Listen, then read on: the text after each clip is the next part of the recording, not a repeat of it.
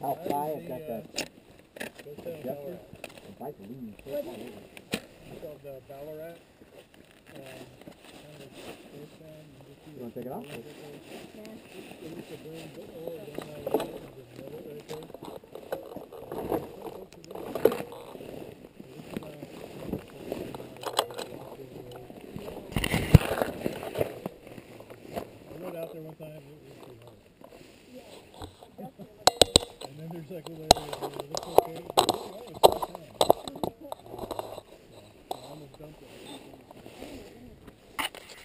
was that pace, was that okay? It was crazy. Sorry I killed the twisties for you guys. I, I'm, I just like to relax. No, actually, that's why you go first. I shouldn't have got on your butt. No, I And the didn't problem is, I did the I did the fatal spin. Is I hit my front foot, slightly tapped it, and it started to stand up, and then with the extra weight, it kind of kept going a little more. And I was like, oh shit.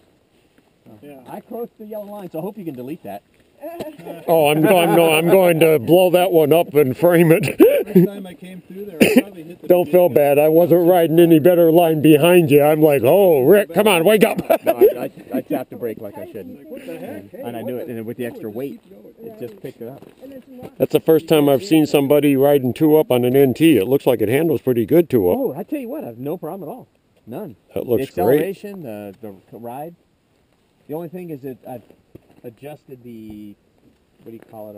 Our our tension. in- there? Yeah, the yeah, preload on so it. The bike leans a little farther when I because I usually ride with it almost out. It looks like it rides really solid though. Yeah. It looks good. Two up.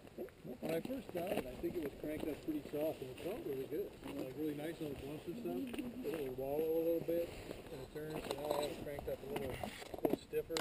So kind of not quite as comfortable on the bumps, but I think